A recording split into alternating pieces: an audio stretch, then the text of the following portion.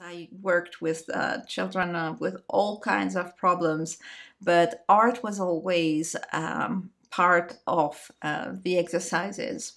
Every time the child is exposed to uh, art in the form of painting, um, something nice happens in the brain. It is an increase of dopamine and serotonin.